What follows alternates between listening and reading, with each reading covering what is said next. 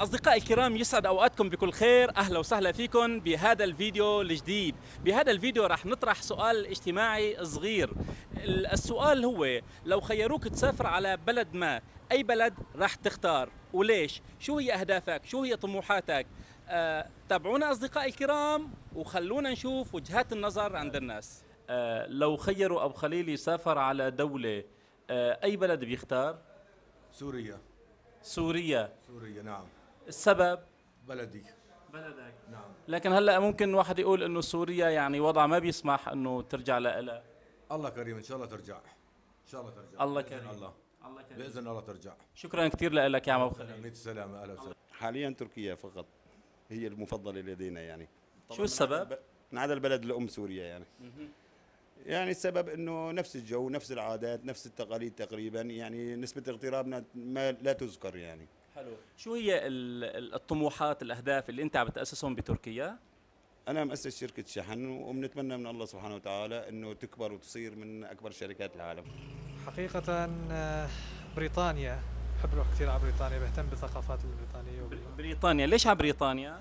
بحب كثير يعني بريطانيا وقريت عنها كثير وشفت. مقاطع يعني عاداتهم وتقاليدهم شو هي طموحاتك؟ شو هي أهدافك اللي إذا إذا يعني صارت الفرصة هنيك وراح تأسسها؟ عند بريطانيا يعني آه، بحاول أجمع أكبر عدد من يعني العالم مثلا معارف شغلة بلكي هيك يمشي الحال. حلو. لو بدنا ندخل شوي يعني شو هي آه، هواياتك؟ شو هي مواهبك؟ عندي والله موهبة التمثيل بحب التمثيل كثير حلو. إيه والله. وبشتغل كمان بمجال الفيديو والتصوير وهالامور هاي كمان. الله يوفقك يا أحمد وفرصة الله سعيده يسلمك يا بختار كندا مثلا. ليش؟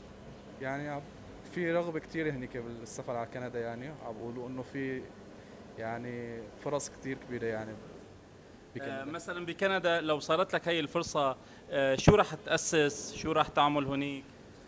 يعني حسب حسب مثلا خبرتي مثلا بروح على الخبرة اللي أنا بعرفها يعني. بشتغل فيها شو مثلا. هي مواهبك؟ شو هي طموحاتك؟ والله يعني طموحاتي آه، يعني حاليا مجمدة يعني. يعني ما ما خرجون مثلا نساوي أي شيء يعني. ما في أمل ترجع على سوريا؟ لا ابدا. أبدا؟ ابدا. يعني خالص. خالص لا.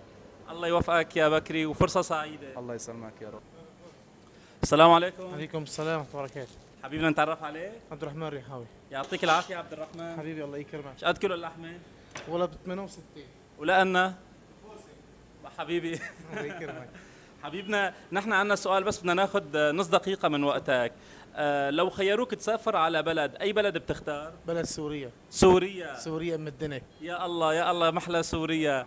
الله يعطيك العافية والله يرجعنا إن شاء الله قريبا. آمين جميعا إن شاء الله. الله يرجعنا ويرجعكم إن شاء الله. آمين. شكرا كثير الله لك يكرمك. 100 أهلا وسهلا فيك. سوريا.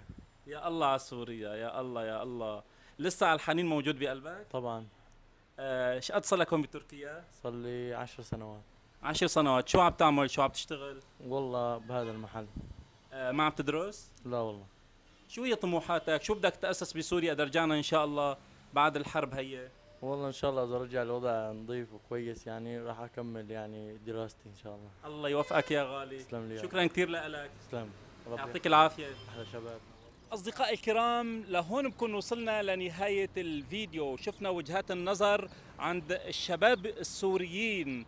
بعد عشر سنوات من الحرب في سوريا ما زال الحنين موجود بقلوبهم وبدهم يرجعوا على سوريا. والشباب الطموحين بدهم يسافروا على بريطانيا وعلى دول أوروبية. الله يوفق الجميع يا رب.